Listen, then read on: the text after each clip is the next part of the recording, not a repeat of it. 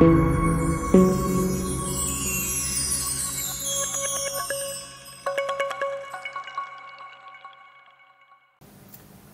amigos, mi nombre es Carlos, soy de byway.es y en el vídeo de hoy os voy a explicar cómo crear pop-ups con Brick Builders. Primero os vamos a explicar cómo eh, hacer que el pop-up aparezca de forma automática cuando se cargue la página y luego lo vamos a asociar a un botón y vamos a decir que se muestre el botón cuando, se muestre el pop-up cuando cliquemos en el botón. Antes de entrar en lo que es el tutorial, como siempre os agradecería que si os gusta el vídeo que vais a ver a continuación o el contenido que realizo, le deis un like, os suscribáis al canal, activáis la campanita para recibir notificaciones de futuros vídeos y también os invito a que si tenéis alguna duda o pregunta, la dejéis en comentarios. También deciros que en la descripción del vídeo encontraréis un enlace para poder descargar todo el material que necesitáis para llevar a cabo el tutorial que voy a explicar. Entonces, una vez tenemos instalado Bricks, lo que vamos a hacer es irnos a Bricks plantillas. Vale, yo voy a eliminar este, que tengo, es el que tengo creado ahora. Y vamos a decirle añadir nueva plantilla. Le damos un título. newsletter. Por ejemplo, le damos a publicar. Perdón, aquí me he olvidado una cosa. Tenemos que seleccionar el tipo de plantilla. Será pop-up. Actualizamos. y le damos a editar con Bricks.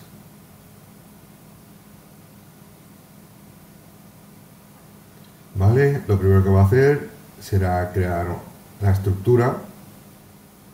Eh, por ejemplo, eh, le voy a hacer una sección normal y a modo de ejemplo voy a entrar, voy a meter un encabezado y lo que voy a meter también, por ejemplo, es un formulario.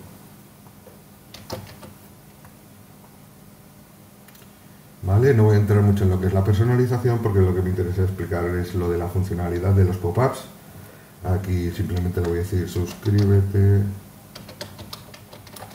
a la newsletter. ¿Vale? Entonces ahora aquí, una vez tendríamos nuestro contenido definido, eh, nos vamos a ir a los ajustes del pop-up. Para ello nos venimos a la ruedecita de ajustes, ajustes de plantilla y nos vamos a ir a pop-up. ¿Vale? Voy a esconder un momento lo de la estructura. Entonces, desde estos selectores podemos definir la, posición respecto al eje vertical y el eje eh, horizontal del pop-up.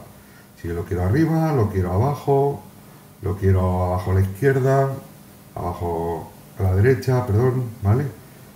Luego, aquí, por ejemplo, si lo voy a dejar aquí tal cual, ¿vale? Abajo a la derecha.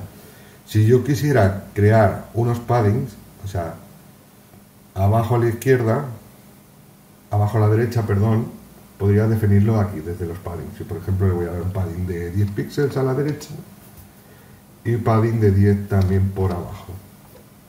¿Vale? Y podemos definir el color del overlay. Para ello nos vendríamos aquí a background, seleccionamos un color, ¿vale?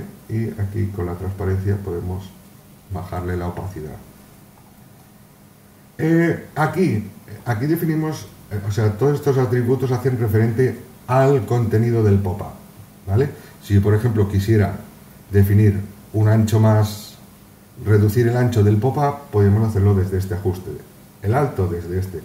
Por ejemplo, yo le voy a decir que tenga un ancho del 70%. O bueno, voy a,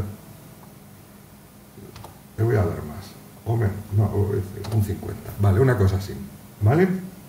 Y la altura igual, desde aquí definimos el color del fondo del, pop-up, le voy a dar otro color diferente, este no. Venga, sí, este da igual. ¿Vale? Y entonces aquí le vamos a definir, en el caso que queramos, podemos definir el límite de veces que se va a mostrar el pop-up. Yo, por ejemplo, le voy a decir que se muestre tres veces por sesión. ¿Vale? Y entonces, aquí en interacciones, le vamos a definir eh, cuál es el motivo o el disparador que hace que se muestre el pop-up. En este caso, no va a haber ningún... Sí que va a haber un disparador, pero el disparador va a ser la carga del contenido. ¿Vale? Entonces para ello añado una interacción, selecciono el disparador y aquí le digo que el disparador va a ser la carga del contenido. Podemos definirle un delay, es decir, que cuando se cargue el contenido pase X tiempo hasta que se muestre el pop-up. Yo, por ejemplo, le voy a decir un segundo. La acción será mostrar un elemento. ¿Qué elemento va a ser? Un pop-up. ¿Y qué pop-up va a ser? El pop-up para la newsletter. Aquí le definimos cuándo se muestra. ¿Cómo le definimos dónde se muestra? Pues aquí en condiciones. Le decimos añadir condición y por ejemplo le voy a decir que se muestre en toda la web. Entonces, eh, le añado la opción y guardo cambios.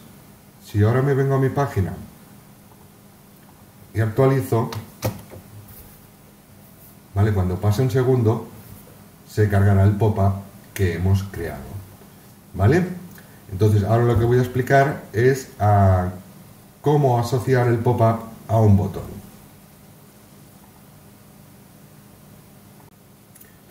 Bien, para, para mostrar nuestro pop-up, cuando cliquemos en un botón, lo primero que vamos a hacer es crear nuestra página y luego dentro eh, vamos a insertar el botón. El botón que va a disparar el pop-up. ¿vale? Añado el botón. ¿Vale? Aquí lo que voy a hacer es... Eh,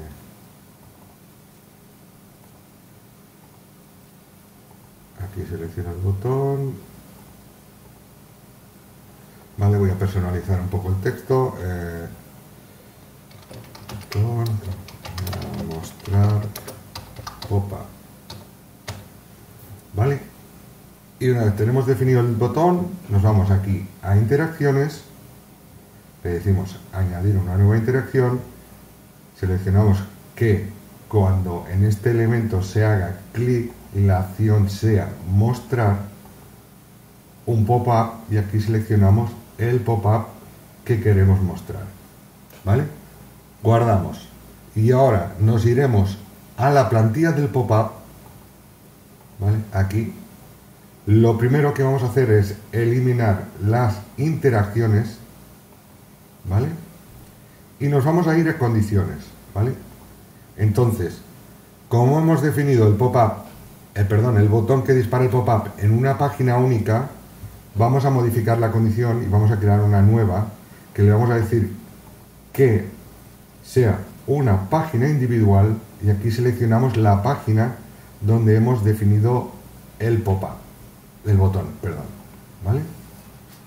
Guardamos cambios y ahora por defecto, si actualizo mi página, ahora mismo no nos cargará el pop-up, porque hemos deshabilitado que se muestre cuando se cargue el contenido. Pero si yo clico en el botón, se nos muestra el pop-up, ¿vale? De igual forma, eh, eh, se puede hacer con un botón, con un, con un icono, con cualquier cosa que queráis, podéis activar que se muestre el pop-up. La misma forma, ¿vale? Pues eh, hasta aquí el vídeo de hoy. Espero que os haya gustado, que os haya servido de ayuda. Si es así, recuerda darle un like, suscríbete al canal, activa la campanita para recibir notificaciones de futuros vídeos, dudas y preguntas en los comentarios. Nos vemos en próximos vídeos. Hasta luego.